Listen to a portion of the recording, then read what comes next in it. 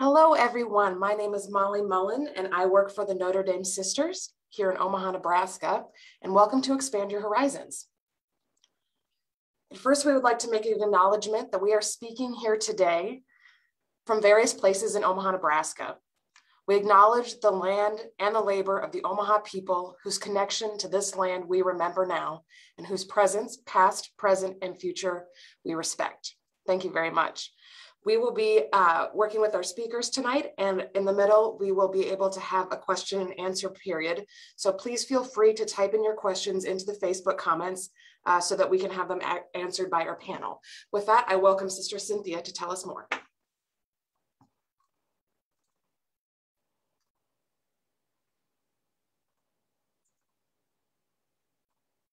And Sister Cynthia, I'm just gonna ask you to unmute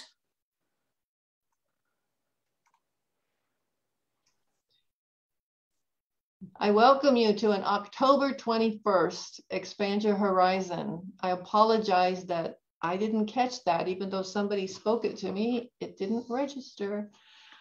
I am so human. So welcome to this humanly put together event. Um,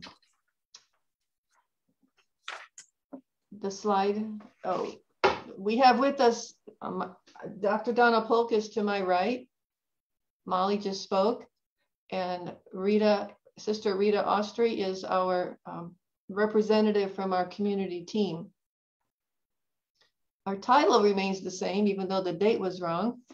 And this is the event called a, a, series of informative gatherings hosted by the education outreach team of the Notre Dame Sisters and Associates. In preparing for this, I had a lot of lessons in language from um, A'Jamal Byndon, he works with MORE, which is Movement in Omaha for Racial Equity. So what we're doing is working with another group that's trying to improve the equity in the Omaha area.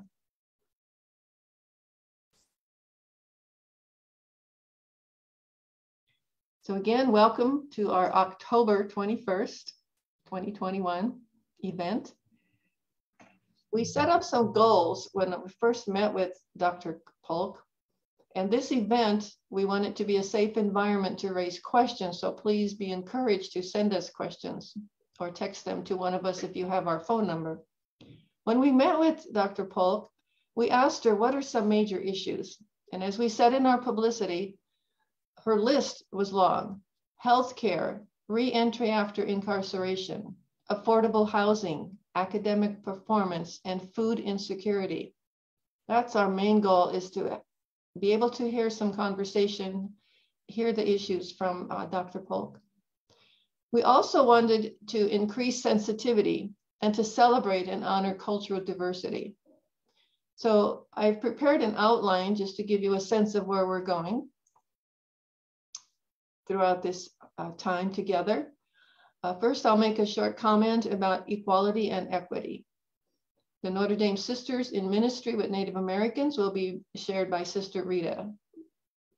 I will share some of my research on the birth and rebirth of the Omaha people of the forgotten minority, and our focus will be on the Omaha Ponca tribe. Dr. Polk will be sharing some stories that reveal this living legacy. So this is a group of people who are continuing to be reborn with what happens in their lives. And her ministry is very important in this effort. And at the end, we will have some actions going forward and we will be thanking you for coming. So one of the slides I found from a United Way website gave a quick explanation of equity and equality. Equality means everyone is given the same resources and opportunities. If you look at the picture on the left, each of them has a box Two of them are standing on the box and one is sitting next to it. That's equality. They all have the same thing. Equity recognizes that each person has different circumstances and provides the exact resources and opportunities needed to reach an equal outcome. So the first person is tall enough to watch the game. The second one ended up with two opportunities given because she needed a little more help. And the third one needed a very different platform in order to get the chair up on the uh, high enough for him to see or her. And that was the 1990 Americans with Disability Act that start looking at how do we have more equity? How do we help those who start off at a different point? So I just point that out to you. There's many images of this ball game, apple tree picking, um, golf games, but I chose this one.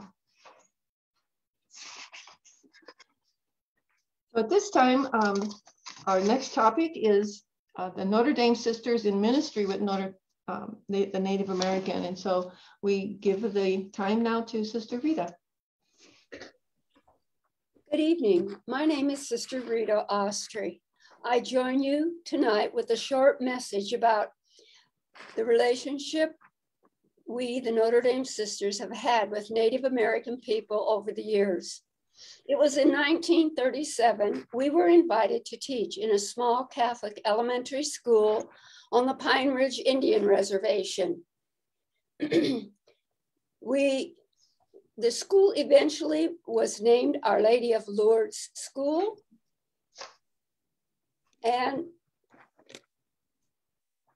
in the beginning, it was a boarding school for those who lived too far away from the school. The reservation is very rural, and, the, and it was easier for them to stay for the week and go home on the weekends because of the distance of traveling back and forth each day to school. And there was no bus system available at that time. Throughout the years, we, the sisters, ministered with the people and we lived on the reservation. We developed a close, meaningful relationship with them.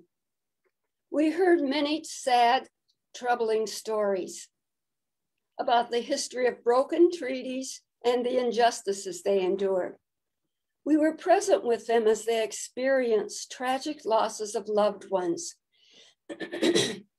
because of fatal car accidents, suicide, struggles with drug and alcohol addictions. We also join in their powwows, tribal celebrations, and spiritual gatherings. I have been one of the fortunate ones to have ministered at Our Lady of Lourdes School. In 2017, I returned to Omaha after ministering over 25 years on the reservation. The years of sharing life with the Native Americans gave me an experience that has impacted and changed my spiritual life deeply. They challenged me to question the history I had been taught and is still being taught the history about our government's relationship with Native Americans. So much has been violated by the labeling of Native peoples as uncivilized or their spiritual beliefs being considered pagan. Much awareness and understanding is needed in order to live in right relationship with our brothers and sisters who have endured so much injustice and who have so much to offer us.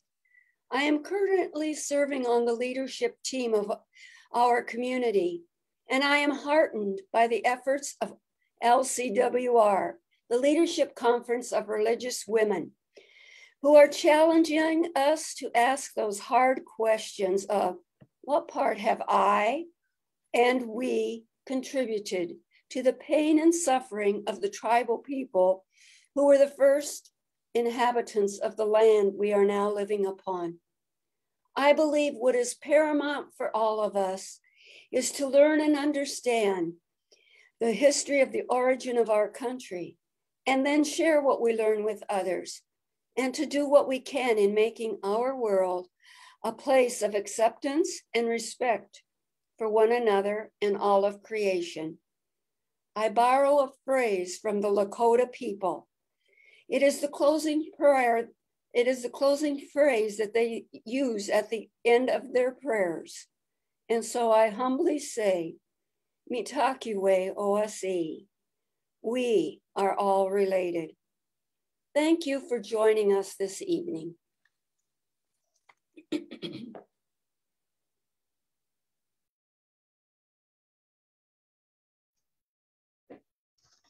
Thank you, Sister Rita brought back memories of when I was in the novitiate and they send us to teach and to get to know the ministry over at Pine Ridge Reservation. My role in this uh, part of our program is to share with you what I've learned and what's been out there a lot on the uh, origins of the Omaha Ponca people.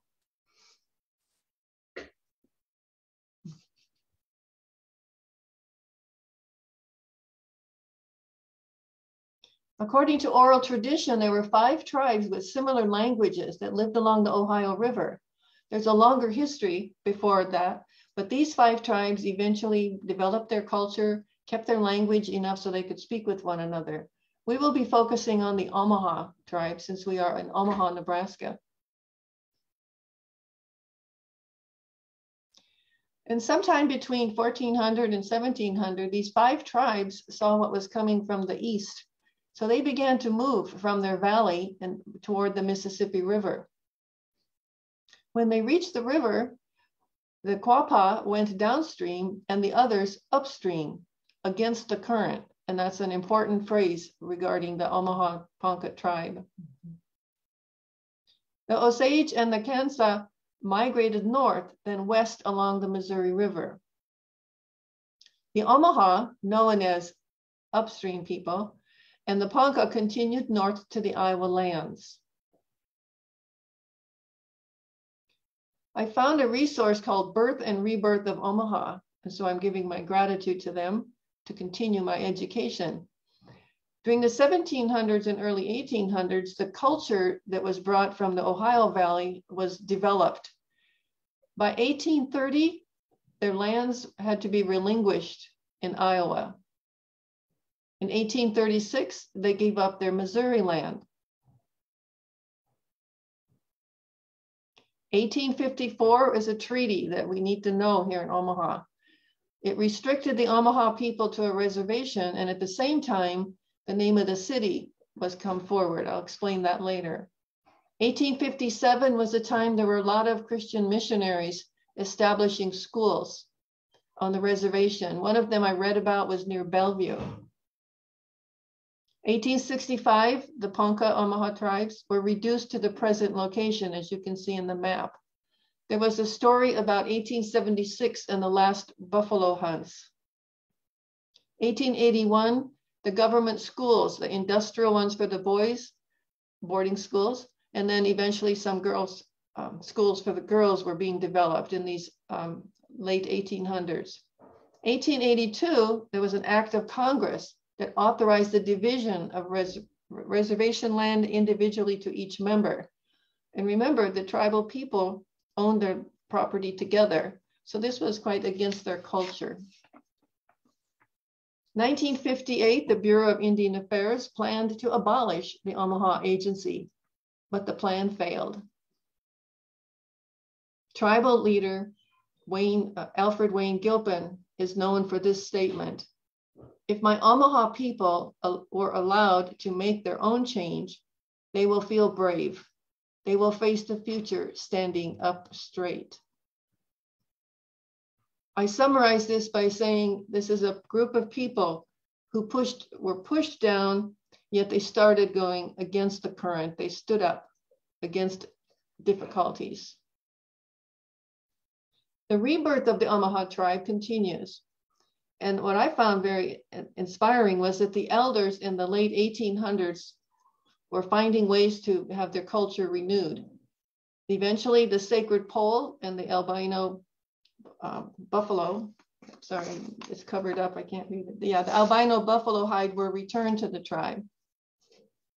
They had a powwow, and it was um, beginning to be a way to express traditional symbolism. They held an annual powwow as an event of cultural renewal and affirmation of tribal identity for Omaha living on and off the reservation. And I've asked Donna, Dr. Polk, to explain to us some of the words that go with living on and off the reservation. Please notice the flag. At the bottom of the flag, it's against the current. This is a stream. And the title of our program uh, for October 21st here is living a legacy of resistance. And this resistance is by a people who, at this time, by their elders, started to claim their heritage. They knew the fur traders was the way to function. They saw the massacres that were happening. And in Nebraska, we had one at Ash Hollow, Ash Hollow, and up at Fort Robinson. And there's a long history for you to look up on that. But those kind of um, consequences to any resistance were things that these leaders said we have to come up with another plan. This project upstream, with the language of the upstream, shows the rebirth among the youth because the elders have carried on their traditions and their values. And notice that this is a, um, a youth project with the Omaha Public School System. They had three goals, some of the issues that uh, Dr. Polk mentioned. They want to improve student academic performance, reduce suspensions and expulsions for American Indian and Alaskan Native youth in Omaha metropolitan area, and they want to increase high school graduation for the Native American. Another very interesting project I saw and read about was that each summer since 2010, Omaha Public School students did a lot of research. And in 2016, they had a picture of these three, that in 2016, they decided that they would be exploring and researching the Omaha tribe. And this is the project in OPS, Making Invisible Histories Visible. I was inspired by the report in the youth when it said, while choosing to name the city after um, the tribe may seem like an honor, it does not expose the forced removal of the tribe to a reservation and the many challenges that they would face later. So thank you to these young people. They also did an interview with Dr. Um, Eduardo Zendejas, a UNO professor. He's a member of the Omaha tribe and a judge for the Omaha tribe. Very interesting history. So I invite you to listen to that video. You can find it at the invisiblehistory.ops.org website. 1983 is a very important year for the Omaha tribe. The Nebraska legislature with LB 90 declared that the fourth Monday in September would be an American Indian Day to lift up the culture. We know from a couple weeks ago that on October 11th, Indigenous Peoples Day, um, 2021, that Nebraska tribes celebrated their Indigenous Day at the Capitol but their Indigenous Day is actually in September. But we celebrate this anyway. I chose the picture on the left from the video that you can go watch. And I thought it was interesting to have a Native person carrying that flag. And someday I hope to find out what's actually written on it. But that was the first nation on this land that we live on. And then came the American, the United States flag. You have the picture, some honorees what I also noticed when I watched the video that the beginning had the Omaha tribe drummers and singing, and the um, at some other time during the program, the Winnebago tribe was sharing their talent and their song. So 2020 is the year to remember too, because it was LB 848 that the legislature, our unicameral determined that the first um, celebration of Indigenous Day would be in Nebraska and then would continue on. So we will be able to look forward to that next year. Also at the state capitol was the honoring of Dr. Uh, Susan LaFlesche Picotte. And she was the first Native American in the United States to become a physician. The quote that they have on her, uh, on the stone behind her, I shall always fight good and hard, even if I have to fight alone. I thought of Dr. Polk. There are many stories that she could share with us, but sometimes I think she really felt alone in this fight. So Dr. Picotte was a physician and dealt with all that was going on among their people. And Dr. Polk is also focused on the health of people, and her focus is on the mental health.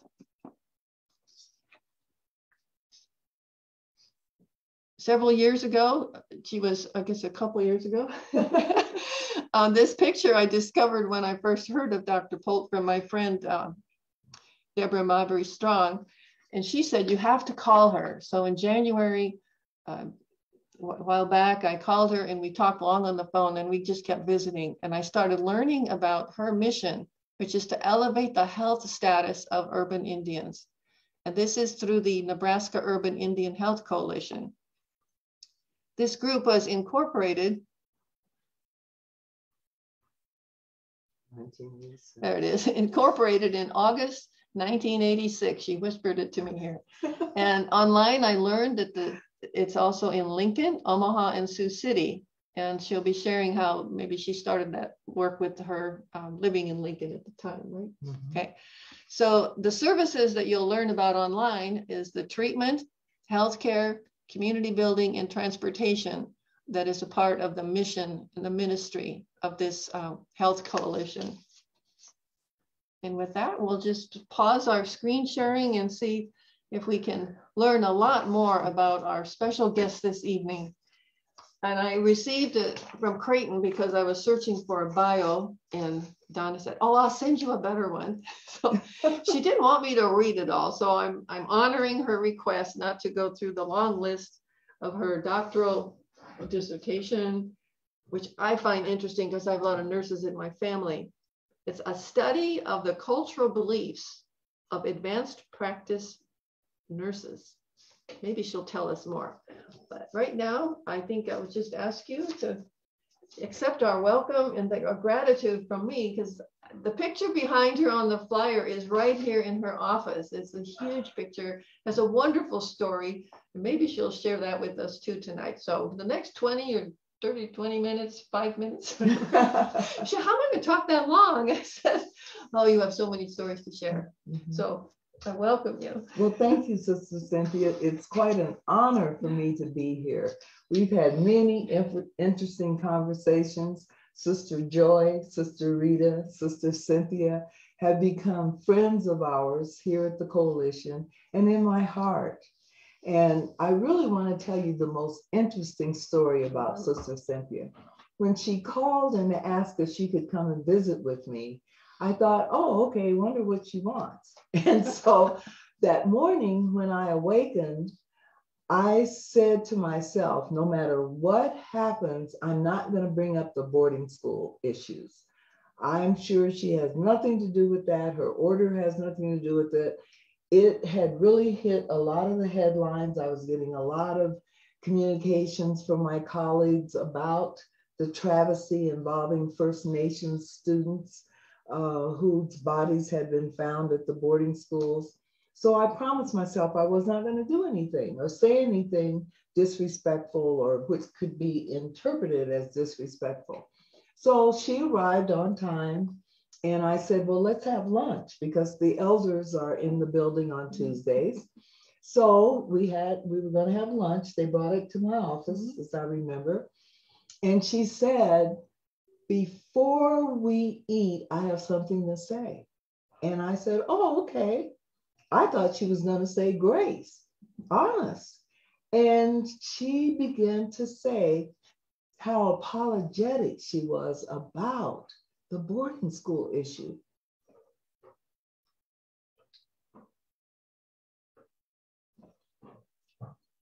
And of course, I was just very surprised and humbled by the fact that um, she brought this up.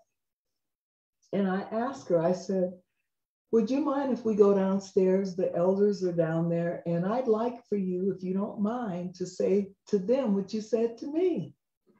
And you went down there. And I introduced her, and she made this not just a simple statement, but a heartfelt statement about that issue. And one of the elders, Pat is her name, she spoke up about her experience. And oh my goodness, it was just amazing. And so that really became something very important to me in terms of our relationship. And so as we prepared for tonight, of course, I'm always excited to talk about the coalition and the work that we do and the fact that we're very, very close to accomplishing a very important part of my life, and that is our ability to renovate a space that will be able to accommodate not only the needs of my staff, but of the community. And that we will have 26,000 square feet of space in South Omaha at 23rd and N Street, where we can once again, after, after COVID is over, or even if we can accommodate the community by having funerals, memorial dinners, things that the 10,000 square feet we're in now don't allow us to do because we are very, very protective of the community that comes here, the clients who are in our treatment program, and my staff. So we have had to adopt CDC guidelines, and both Sister Cynthia and I have been vaccinated. And so that's one of the reasons why I'm looking forward to moving so that uh, we can begin to function as we have since 1986. I started in 91, and I mean it was 1991, not 1891. I think some people think I'm so old that I've been here for over 100 years, but anyway, no. Um, so um, I'll just see if you have anything else well, you'd the, like to talk about. The memory of going to see the tired moccasins is a strong one for me. Um, it brought me back to my young adult years when I first started learning a little bit about more than was in our history books.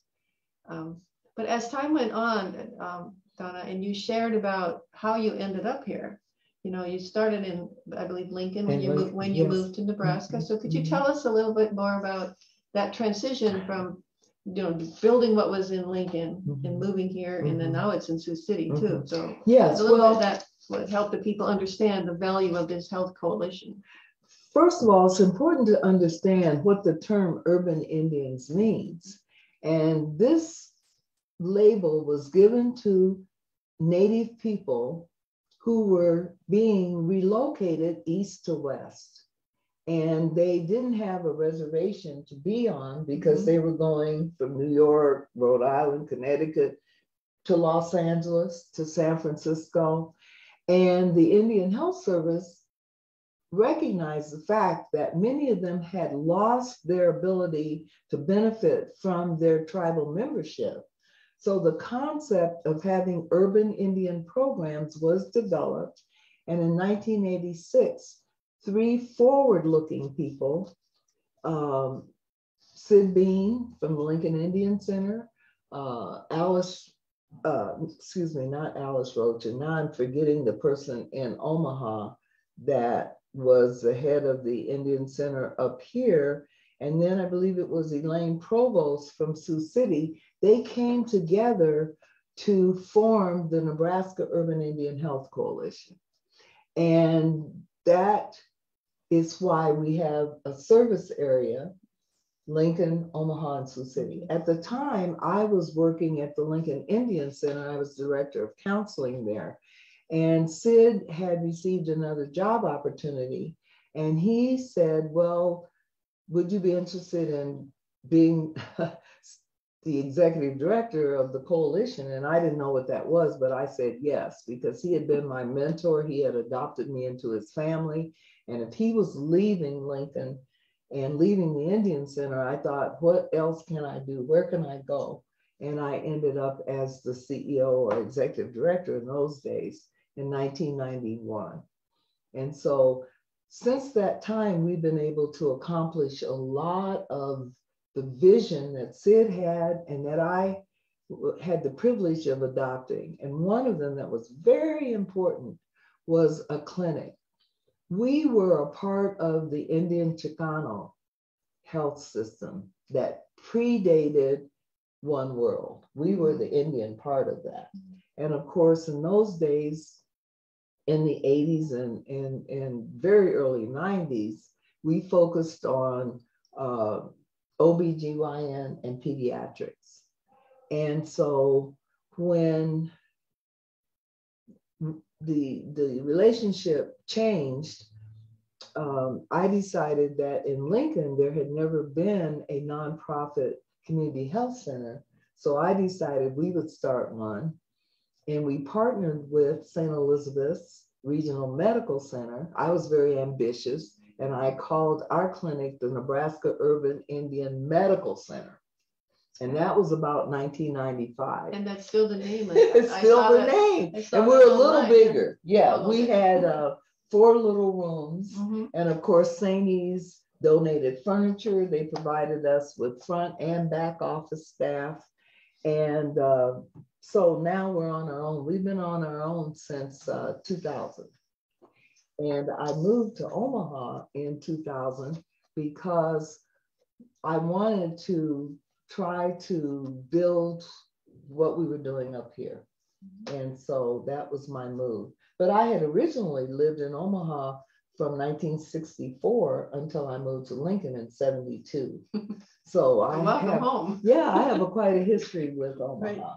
So when you start setting up services, you're uh, online. It says you have the um, can't read the small writing, but there okay. were four things listed there. so as you look at the issues that you've been working with, um, that long list of the, like I know I was showing the addiction services mm-hmm. here. There was a crafts place. I was mm-hmm. showing the garden, mm-hmm. um, the ENOA lunches here mm-hmm.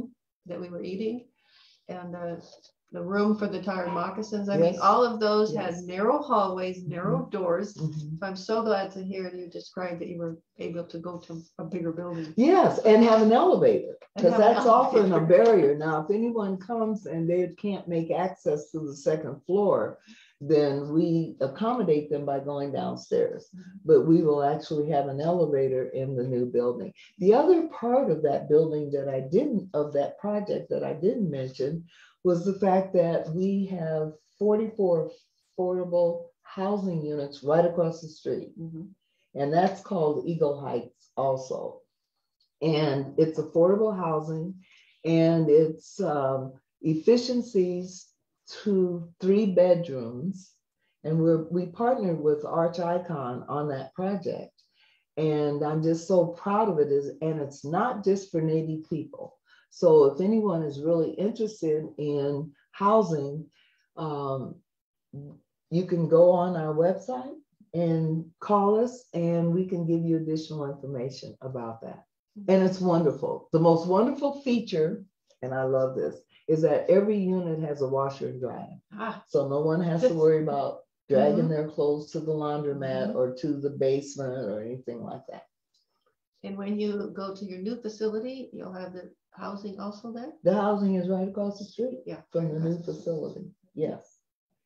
It says on this description here about intertribal treatment program. That seemed to be an important part of the lives of some of the people oh. I met here. If you could mm-hmm. comment on how that developed, what were some of the difficulties and Oh, wow. Well, initially we were at St. Patrick's, the old convent on 15th and Martha. How about that? See? Uh, the creator has brought us together, even though, you know. But anyway, so um, yes, we have a history, a long and storied history, trying to provide services for Native people in all 50 states. We've had people come from as far away as Alaska and then we serve the 17 tribes in the Great Plains and mm-hmm. any other Native person. That's an interesting detail. 17 tribes. Mm-hmm. Yeah. That's the intertribal. Yeah. Yes, that's mm-hmm. the intertribal. And we have a contract with the Indian Health Service, which is why we limit access to Native people. Okay. And there are many reasons for that in terms of the exposure to cultural activities that non-natives might not understand the sweat lodge, mm-hmm. you know, um, smudging, things that they may not be familiar and may not be comfortable with. And so we are very proud of the work that we do.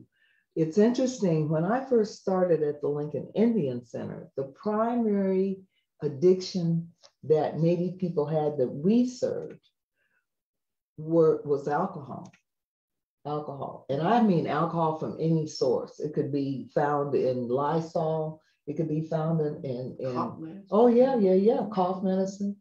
And now it's methamphetamines. And so we take a cultural approach and then we also incorporate trauma informed care, understanding that so many people have been traumatized that we try to ask the question, What happened to you? If we don't ask it personally, we dig around trying to figure out what happened to you to cause you to resort to this form of addiction mm-hmm. to address the pain that you feel. And it can be a number of things. It can be abandonment. And when I mean that, it could be the mother who, for some reason or other, was taken from her child. And the child just has never lost that longing for that maternal relationship that no one else can give. No one else can give. And then, of course, you know, I bring, I have to bring up missing and murdered. The MMI. Um, yeah, MMIW. Yeah. If you haven't looked it up, please do. It was another one of my largest um, educations that mm-hmm. uh, murdered and missing mm-hmm. Indian women. Mm-hmm. And I want to add to that that um, the one person I know who was who is missing is Merle Saul. He was a gentleman that often visited my office here, right here in this building. And he was from Santee. That's on the north. Uh, yes, yes. North, but he, yes, and they have looked for Merle. I think Merle's been missing over four or five years. And it's just sad because I know that the focus is on women and it should should be because there are many more women missing and many more of them are subject to being victimized whether it's through human trafficking mm-hmm. sex trafficking laboring trafficking you know but i just often think of merle because he's somebody that i know that one day he didn't mm-hmm. show up and i said anybody see merle and then I found out that other people were looking. In fact, the police had issued, uh, you know, all point bulletin looking for him, not for any criminal act, but he was missing. Mm-hmm. So I just needed to say that. I'm a, a, teacher, and so of course, when I saw the project upstream and you introduced me to your mm-hmm. staff person mm-hmm. working with that, mm-hmm. how did that get going? Because it's connected with OPS. It's connected with OPS, and we've had a connection with OPS, the Native Indigenous Centered Education Program, or NICE as it's called. Well, I'm really big into education, and it doesn't have to be a PhD, it can be a certificate from a welding program mm-hmm. at MCC or Little Priest or, you know, a community college. But you have to be able to show that you have learned to do something. And so I was concerned when I started looking at data from OPS mm-hmm. and I see that the grid is going down, that the success rate for graduation there are other indicators such as truancy, mm-hmm. uh, disciplinary actions that have to be taken against Native kids. So, listening to the metaphor, and Desmond Tutu often said this, and other great leaders, let's look upstream to see why the babies are in the water. Uh, upstream. Yeah. And so one of the elders, the story says, went upstream to see where are these babies coming from? So I thought, let's go upstream and see what's happening in the home. Mm-hmm. You know, do these young people that are at school age, do they have a mattress?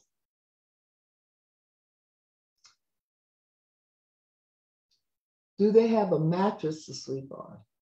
Because some of the facil- some of the residences where they live, there's not room for beds for everybody.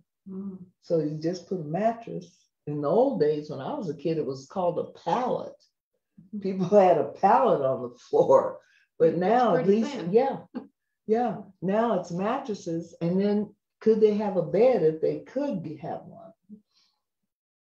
One of our clients said if their family had a table with chairs where they could all sit down and eat, how pitiful is that? Mm-hmm. And then, of course, food. Should a child have to go to school to have breakfast? My grandmother gave me oatmeal. I still eat oatmeal. Almost every morning I eat oatmeal. Of course, it's instant. She would be horrified.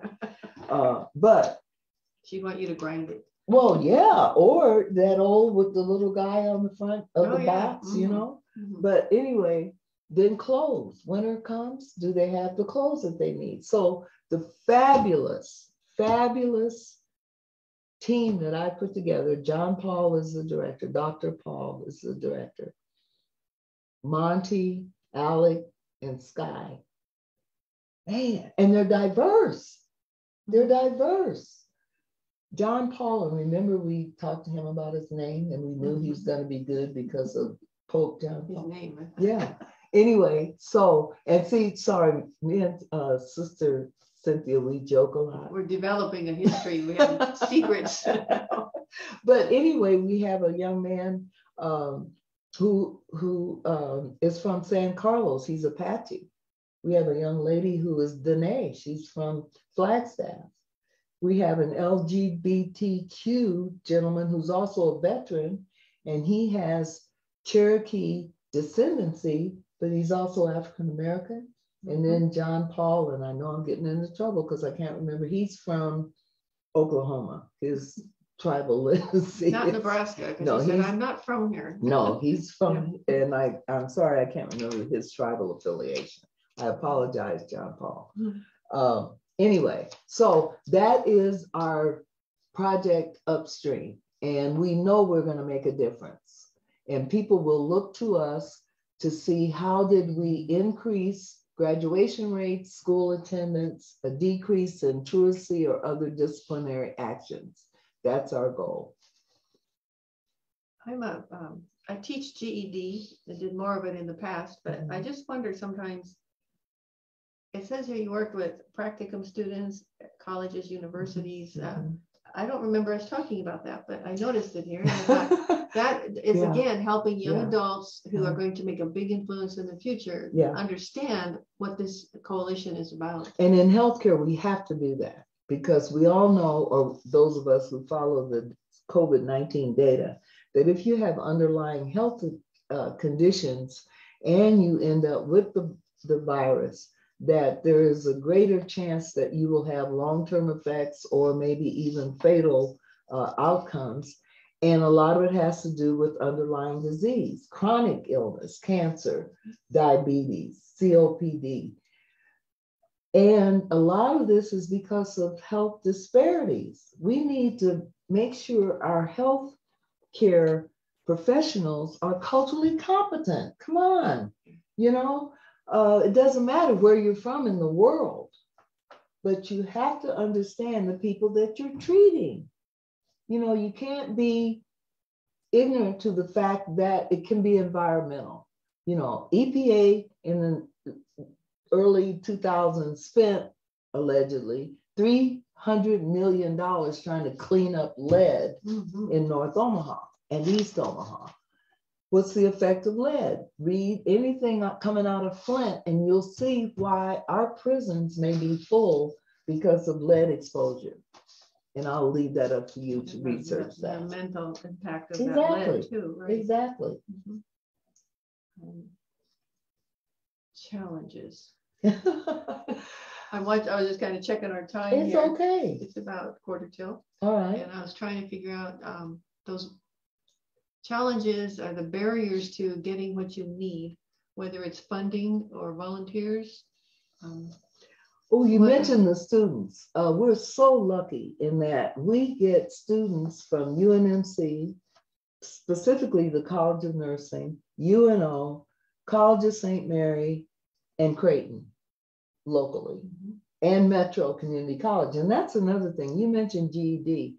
I feel that Randy Schmailzl, who is the president of Metro Community College, which is, oh my goodness, if you haven't had a chance to walk around Metro, it's phenomenal. It's so beautiful. The buildings are just modern, um, and he's so approachable. He's so approachable. But he, when I visited him about my vision, and I said, I think I want to have GED and computer labs. He said, I'll help you. Let me know. What do you need? Oh my goodness. Can you believe that? So um, I'm just waiting because I know there are people that dropped out of school for some reason. And if we can get them back on a fast track, such as GED, and then get them in, they just opened this fabulous new auto mechanics um, classroom place. Oh my goodness. I have an old raggedy car. And so just two. No. My community is listening. Sorry. Okay. No, um, they'll have to learn the electric car though. Yes, yes, yes, yes, Part of yes. the Well, I'm New- sure they will. new employment that will be coming up is exactly. working with that. Mhm. Um, you mentioned Metro, and when I first moved to town, came back after being gone for a while. Uh, one of the things I attended was the September powwow. Right. mhm, And I enjoyed that thoroughly. Mhm. It brought back all kinds of memories from my young adult years in mhm. Pine Ridge. And then a couple days ago, you helped me understand that there's a separate celebration, the fourth Monday. I just wanted, Well, you I had know, such a it's a high I energy know, there yeah. for that day. Yeah, I wasn't gonna uh, bring that up, but um, Well, I was, and by accident, I was at a September fourth Saturday celebration mhm. and I, I see the information, but it's, Mhm. um, It- Yes, It's- because we, we have a very liberal um, holiday celebration type mentality here. So we have been celebrating Native American Day, the fourth Monday for years. nineteen eighty-three is Yeah, what we and found, so, yeah. but, And you were yeah, doing I wasn't before- You here were doing it before that, right? No, No. but anyway, no, we, we- that's one of the holidays that we observe. And then Metro would have its powwow that weekend. Yeah. And so then when they came up with Indigenous Day Mhm. in October, I'm going to have to figure out from my board, Hmm. uh, which one are we gonna go with? Because we, you know, I don't think we can take both. We have to celebrate long two weeks there. We have a beginning. Yes, yes. Um, Were there any cultural things that you would want to share, uh, maybe from the tired moccasins that you've seen them bring forward? Or uh, like when I met your gardener and I only Mhm. looked at the plants from a distance, Mhm. um, that, that just seemed like a healthy thing for participants here to Mhm. gain an understanding of Mhm. growing food. And- many of them know, Mhm. they know about dandelions and milkweed and um, plant, other plant-based type things. And they also know the correlation between food insecurity. Uh, because if you can't almost walk to the grocery store, you're in trouble because then you go to a convenience store that's right around the corner and you start eating pizza Mhm. and hot dogs and things that aren't as healthy. So that's why we have a master gardener who comes and we have raised beds because I don't believe the land is lead free here. So we have raised beds, we bring dirt in, and then the elders plant. They also plant sage and sweetgrass, you Mhm. know.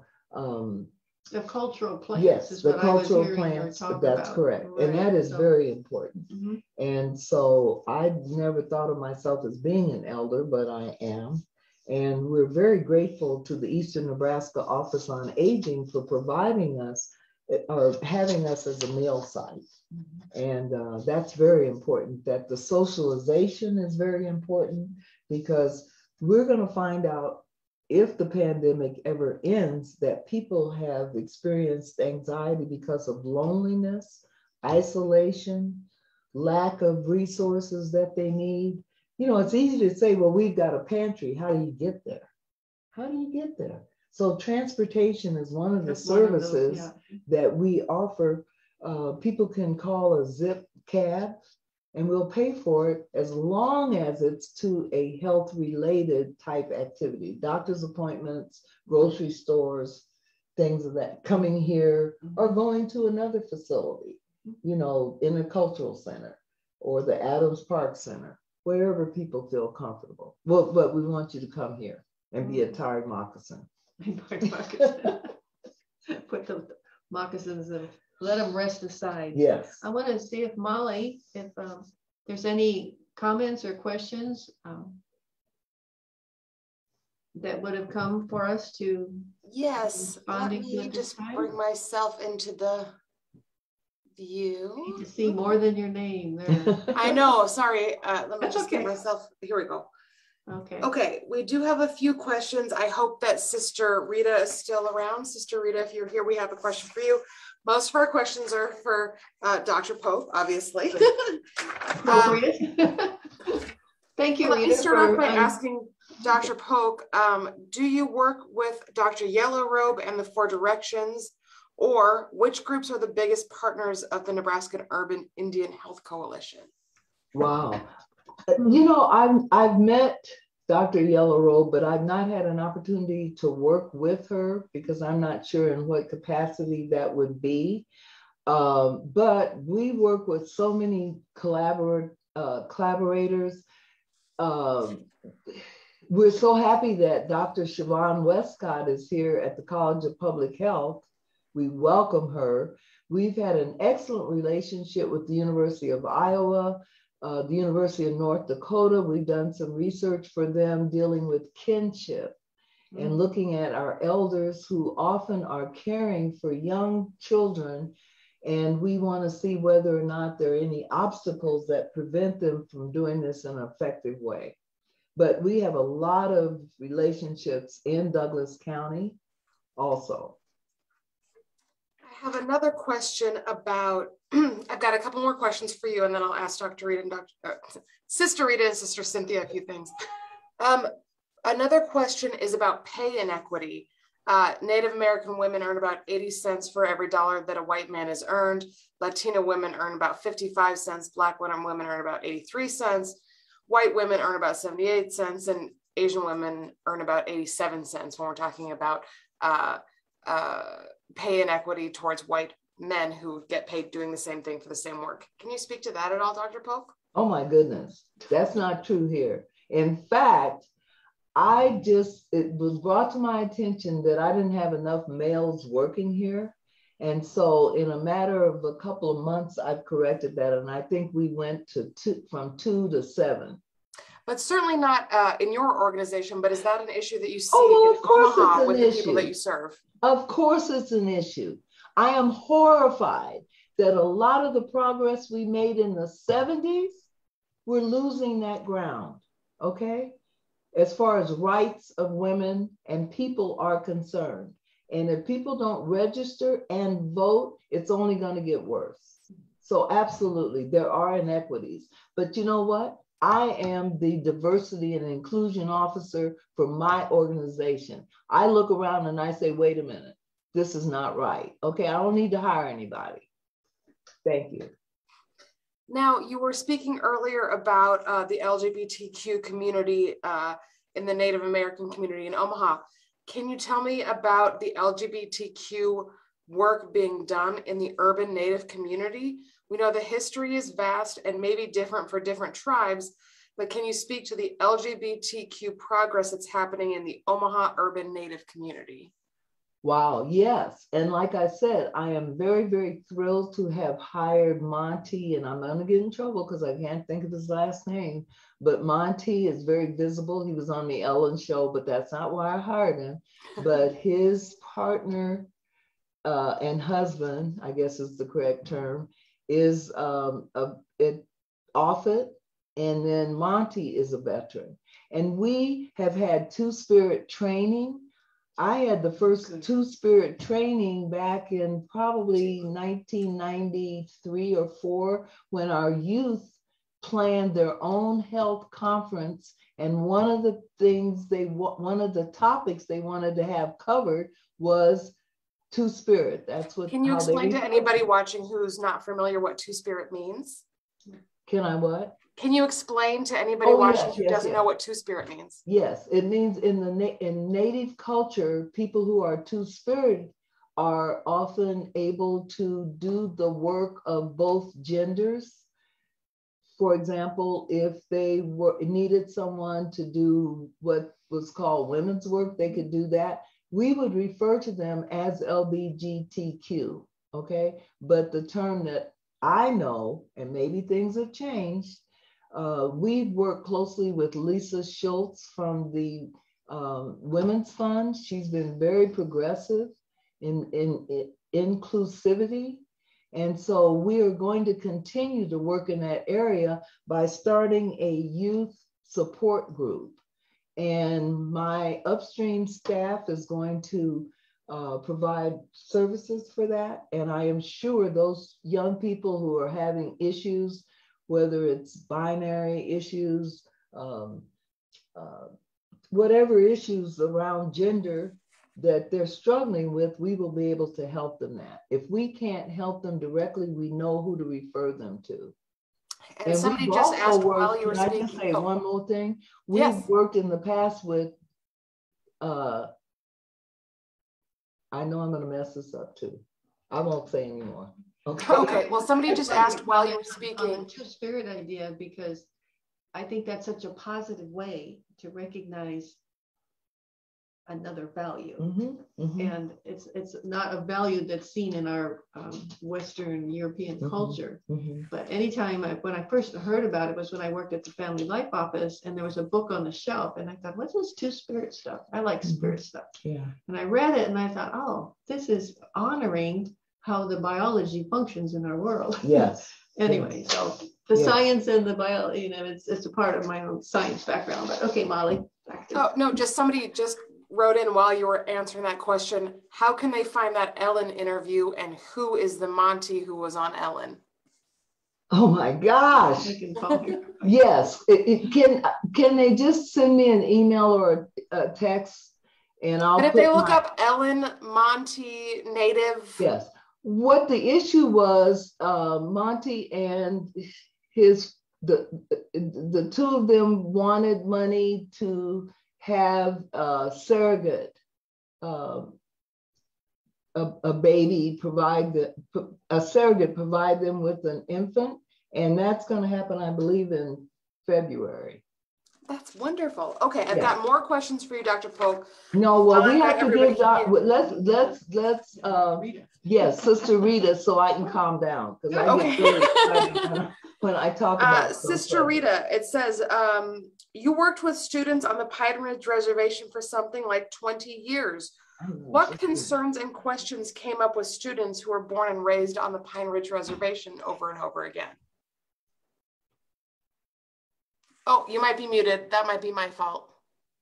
No, that's okay. There you are. Okay, you're back.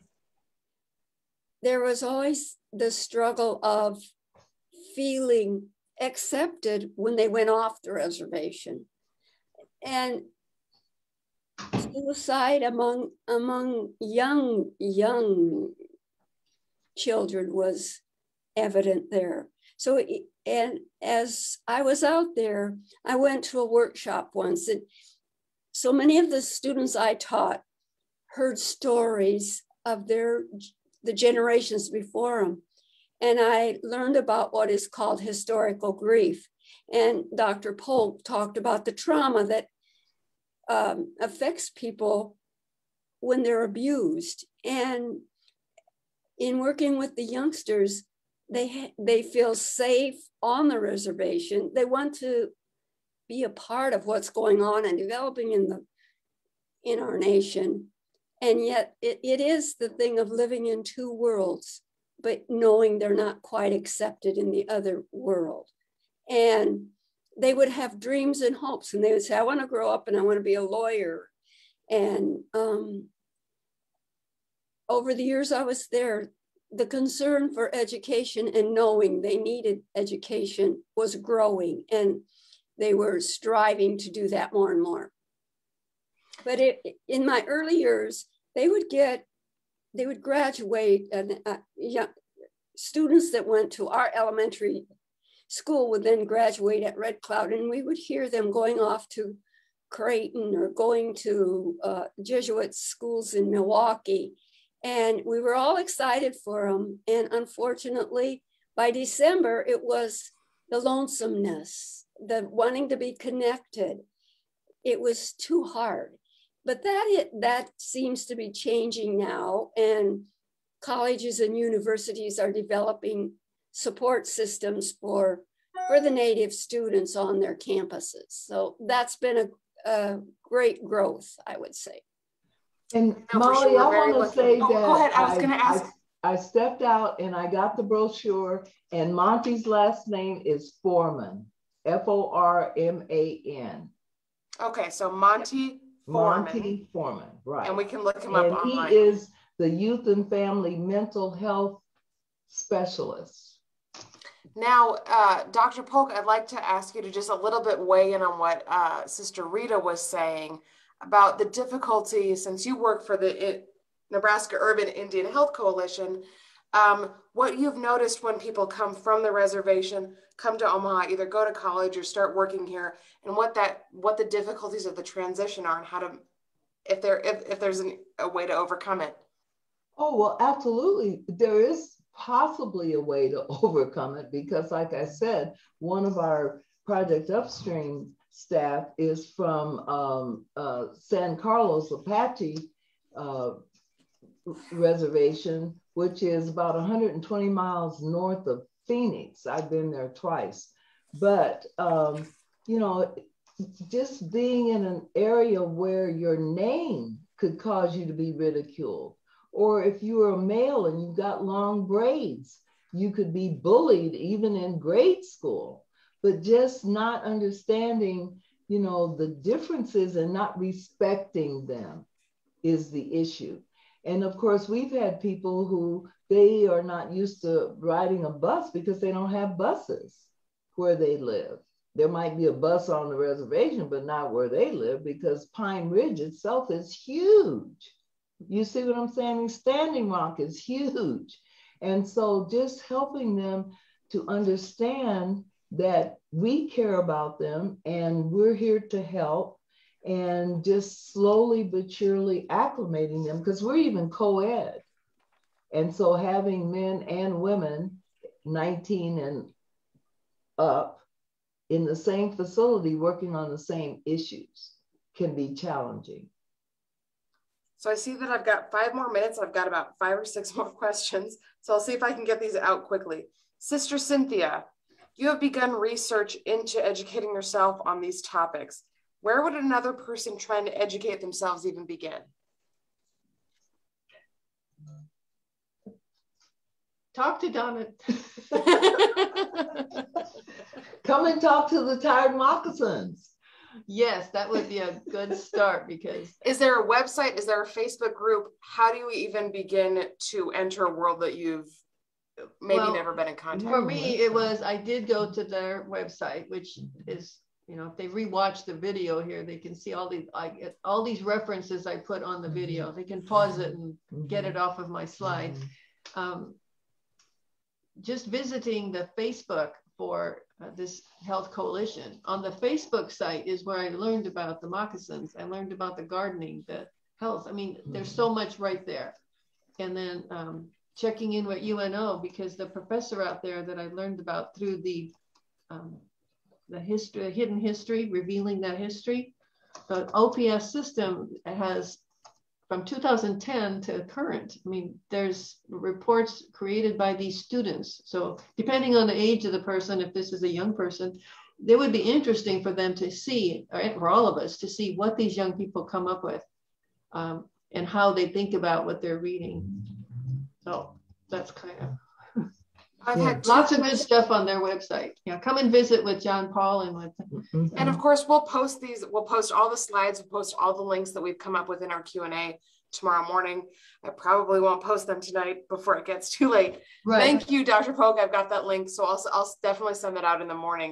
You know, I've just gotten two questions from two different people that are kind of similar. So I'm going to try to combine them.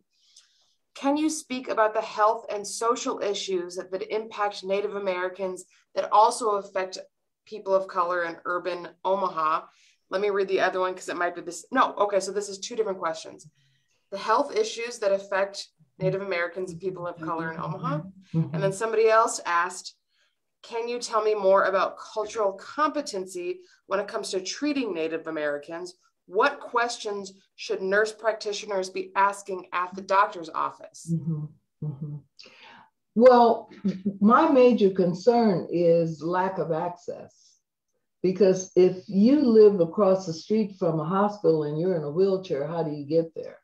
And so that's often a barrier. Where are the services and how do you access them? And then once you get there, suppose you have the belief that this healthcare provider knows everything, then what information do you need to give them? You see what I'm saying? And then understanding the role of the environment that a person lives in.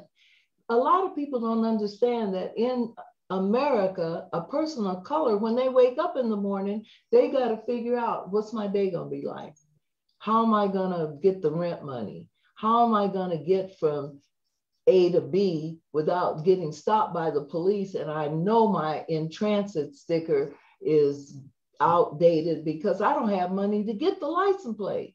You see what I'm saying? And then, so how's that all going to work? And then, yes, I realize that my children are not the weight that the CPS worker thinks they should be, but I don't have money for groceries to feed them. They say there's a little commercial on TV that almost brings tears to my eyes every time I see it, where the little kid goes to the refrigerator and it mm. says, I want to eat, eat, eat. And it's like, what? You know what I'm saying? So that's what people of color have to contend with and then we're living on Indian land. Come on now.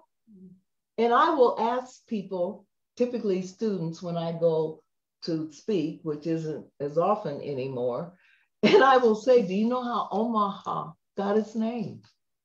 Do you know how Nebraska got its name? No, they have no idea. You see what I'm saying? And to speak to that, you know, I'm born and raised in Nebraska and have been a huge Nebraska fan my entire life. And I knew where the names came from, but it wasn't until we started researching this topic that I realized that naming your town and your state after a tribe is kind of an, an empty gesture at the end of the day. Yeah, but the tribe named its this land. Mm-hmm. They named it. I mean, come on. But when the settlers decide to say our city and our state are named this, yeah, I understand, Molly, and I know you have good intentions, and I adore you. And so I adore you. Okay, we've only got a few minutes left. Let me ask a few more questions. Um, uh, okay, got that one done. Okay.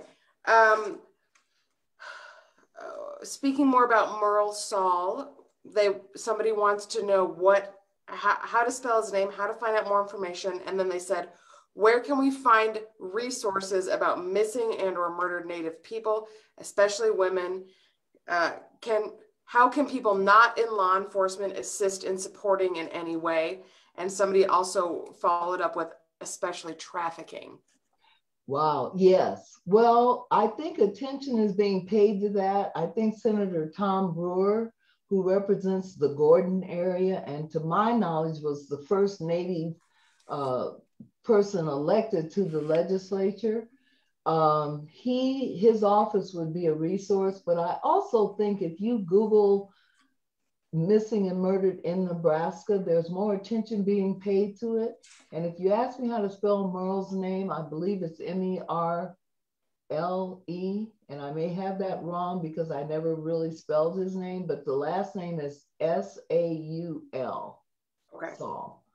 Uh, so, uh, but yes, do pay attention to that. And one of the reasons Nebraska is a hot spot is because of I 80. When it comes to the MMIW, just know those four letters MMIW, murdered and missing Indian women. That's what you told me to look up one time. So I did, and I learned about how it started in Canada, and this organization has gotten big. I think at this point we'd like to move toward our actions, one of which is it's not on a slide, but go look up MMIW and you will find out. And we can, and we'll list that link after tonight. I can I ask one more question because Sister Rita has been waiting so patiently, and this is one question for Sister Rita and Dr. Polk. Okay. Um, Sister Rita, can you tell me, somebody asked a little bit about uh, suicide prevention on the reservation, and I want to bring Dr. Polk into that because I'm assuming suicide prevention is a very important part of, of the urban Native American community as well. So can you give me a little bit of information about your experiences uh, hearing about, discussing, experiencing um, this incredibly devastating issue on Pine Ridge Reservation? Um, that was a very um, urgent issue to deal with the last seven years I was on the reservation. And I remember um, we, we, the Pine Ridge Indian Reservation invited elders from, from Wyoming and other reservations. And one morning we gathered our junior high students and took them to a ceremony. People would we would pray together about it and talk about it. And then we brought all the students from the schools to the football field, and everybody wrote on a link, a construction piece paper, and we linked it all together, and we had another prayer service reservation wide. People are very concerned about it. They have uh, I, another group of young high school students go around and do skits for the students in the elementary schools. It, is, it has become an urgent issue to address. And the health facil- uh, healthcare providers and the counselors on the reservation were coming together, working together, providing various programs that could be used within the school. And Dr. Polk, could you maybe speak to, to that issue in an urban setting? Yes, we're very concerned about the high rate of suicide among Native people, which is often compared to that of veterans. And we know that veterans have a very high, or people in the military, not just the veterans. But we try to uh, approach the issue by training people. It's called QPR, question, persuade, and refer.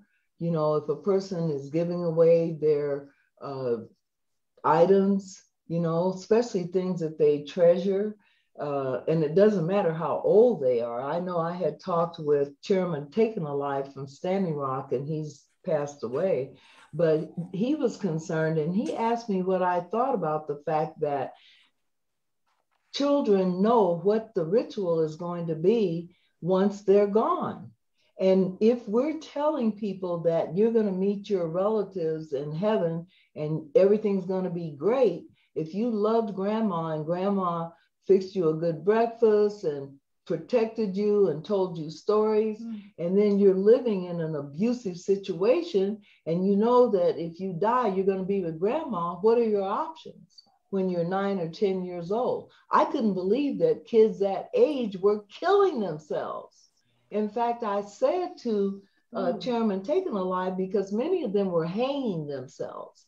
And I said, Are you sure they're not playing the choking game? And he said, No, he didn't think so. You know, but that's a conversation ongoing we need to have because non Indian kids in Douglas County are killing themselves. Okay. So we have to make sure that when we are addressing these issues, we don't just limit it to one racial group or one gender, because people tend to have friends outside. And as we bring Afghan uh, refugees into this community, we've got to make sure that we find people who speak their language. And I don't know if it's Arabic or Kurdish or what the native language is from where. Or any specific, from. yeah, regional exactly. language. Because think of how horrible that is if you're thinking about the relatives that couldn't get on the plane and you have survivor's guilt. So we have a lot of work to do in the area of mental health, getting past COVID, getting past the isolation we suffered, the people we've lost. We have to pay attention to that.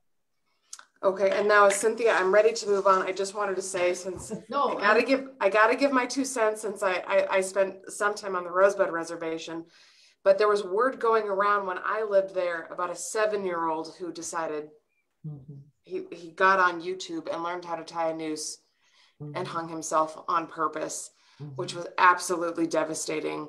And then I was teaching kindergarten through eighth grade uh, religious studies, uh, like as an after school program, and would ask all the kids what they wanted to do to grow up, when they want what they wanted to do when they grew up. And I had this Spitfire gal who I just thought was gonna like set the world on fire. She says, Well, I think when I graduate from high school, I'll just do what my brother did. And I thought, Oh, go to the military, leave the reservation, go to college. And she said, No, he killed himself. And I'm probably going to do that too. And she was nine years old at the time when she told me that. Um, this was about, this was a few years ago. Um, but it really hit that, that question just really hits home for me personally. Um, so there's plenty of resources out there to, to continue that discussion, but I just wanted to put that out there with you all. Thank you, Molly. Appreciate that. Do you think we'd be continuing with slide 20? I will absolutely continue with the slide. Give me a moment.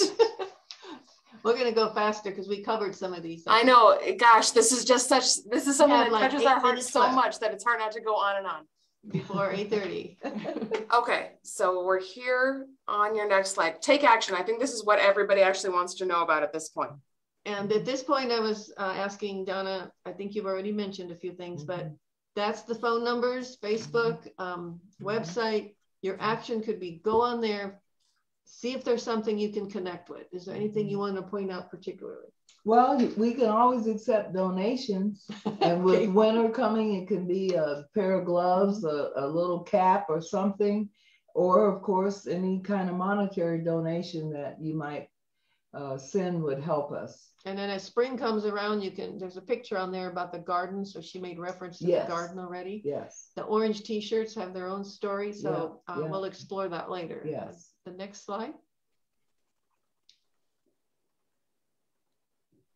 And this one was already referenced to about the mm-hmm. new site. The, it's mm-hmm. uh, the South It's at it's at 23rd and N. Oh. So just one block to the east of 24th. And so you'll see it, you can't miss it. I think that's not a typo. I copied that right out. Yeah. Anyway, the point is that's it. We also wanted to acknowledge that uh, there's um, Indigenous Peoples Day that the Mitchell Museum sponsored on the history of boarding school. They said that they would be having this up on their website. So there's a recording if you want to explore and learn more the history and the description. This uh, gave that explanation. One more, one more click. Okay. And this, the goal that they had was to educate and to be respectful of the topic. She said, um, this Mary Smith said, we understand that lots of truth telling and healing in action is due around this topic. Mm-hmm. So that's how we want to encourage you to learn more. Molly's going to comment a little bit about this. Oh, sure. Take a trip. This is right next to my house. So if anybody lives near 50th and Ames, like I do, uh, there are uh, four or five great Lakota statues, which is going to teach you an incredible amount. Uh, it's a great place to go walking uh, mm-hmm. and meet people and also just learn a lot about local culture without having to go out of town. So this is located in central Omaha. Hmm. Um, and you might see me there because I go walking there about twice a week. Faces. Well, put, no, put it on the one. Yeah, yeah. So that's at 44th and Ames. Mm-hmm. And then from the Omaha tribe, we go to take a trip. You can experience the heritage of the Winnebago Ho Chunk tribe they have 12 statues there. I went with one of the sisters to see it with Father Barron, whom I used to work with. There's you can visit their site if you don't not able to take a trip by car, you can take a walking tourist trip. Mm-hmm. They have all the statues described there. It's an education. Mm-hmm. And then if you wanted to know more, you can find out, go read online, find out more news in the Winnebago Indian newsletter newspaper. Mm-hmm. So there's their website. Out at Winnebago, there's a Catholic mission, St. Augustine's Indian Mission, which has a long history. It's in Macy, Winnebago, Walthill. And what we're asking for an action here is consider a donation. They are building a new school. A little history of that is that in 1888, Bishop O'Connor was trying to get something going. It didn't happen until 1908. And this was the Omaha tribe and the Winnebago tribe, which were kind of enemies at one point, but they're working together. and um, they were able to obtain 15 acres for this St. Augustine Indian Mission. And in 1909, Mother Katharine Drexel, who is in our Catholic tradition, she's the title of Saint Katharine now. She arrived in Winnebago with her sisters. They visited all the families, figured out how to finance and how to oversee the planning and construction. And the first students actually came that November. So they were very busy. Um, previous to that, they had problems getting financing. So help with the new school if you're able. Another take action, I was looking for things on Lakota and Pine Ridge and came across this website with all these projects that are being uh, promoted and assisted by the Friends of the Lakota Nation. And this was all described as at the Pine Ridge Reservation. So since our sisters had worked on the Pine Ridge, since 1937, um, this is connected with the Jesuit school system, the Red Cloud school um, uh, system. And the last little bullet thing there, it says that that system started in 1931. So there were other religious communities helping out there, but we came in 1937. And um, there's certain needs that Sister Rita helped me to see. So the sky is the limit. Our students prove that time and time again. And their specific needs include gas and bus upkeep, current textbooks, technology, the care of their buildings, and opportunities that could be provided for the young people. So thank you, Rita, for those clues. Finally, our um, partner that helped with this is uh, the More. They have two events coming up, Jan October 28th. Robbing North Omaha. If you want to know more, go to their website. Um, just one or their Facebook, whichever one. And then in January, which seems far away, but I have that book. It's very heavy and very deep reading but it's the families who challenged slavery from the nation's founding to the Civil War. And the plan they have for January 20th is to really dig into the, that book. And this is a professor from UNL, is his book. Maybe someone's listening who took his classes. And at this point, um, we repeat the information to contact uh, Dr. Polk over at the Health Coalition. And we want to, I want to thank Molly for organizing with yes, us. Thank Molly. for Sister Rita and then Sister Joy, who came with me to actually visit with Dr. Polk and get this deeper understanding of what you've been doing here for 30 some years plus yes. in Lincoln. Mm-hmm. And we wish them well as they continue um, making the health coalition a very strong service for this uh, group of people that were devastated by the westward expansion. So thank you all. Yes, thank you. I was just going to thank again our speakers. Dr. Polk, if you go on our Facebook page, there are a few more questions about voter registration and equity uh, in terms of democracy for Native people. So if you want to give those comments on Facebook, feel free to do so. We have Expand Your Horizons. Uh, once a month, you can find us uh, online. I can add you to our mailing list so you can see what our next topic is going to be. Um, follow us on the Notre Dame Sisters, follow the Nebraskan Urban Indian Health Coalition, and I would just like you to know that all of these slides and the video will be available on our website and on YouTube tomorrow for people who don't use Facebook. Uh, it'll be at notredamesisters.org. Um, is there any final words from Dr. Polk or Sister Rita? Sister Rita, I would love for to hear that those words one more time that we use to end a prayer in the Lakota tradition. Mitakuye Oyasin. And that means we are all related. And thank you for joining us. Mm-hmm. And any final words from you, Dr. Polk? I certainly agree with that. We are all related. And if we really have that as our mantra, we will treat each other better. Thank you for this opportunity. I enjoyed it. I enjoyed the company of Sister Rita, Sister Joy, and of course, Sister Cynthia. And you, Molly, I appreciate you handling this so professionally. I mean, you are a professional, but thank you so much with that. I appreciate it. Thank you for spending your time with us. We are uh, a group of women who are constantly learning, and we're happy to have experts uh, who come to us and teach us more. Thank you, Sister Cynthia, for finding these experts for us. We really appreciate all the work that both of you do um, and look forward to seeing our video online. Sister Cynthia?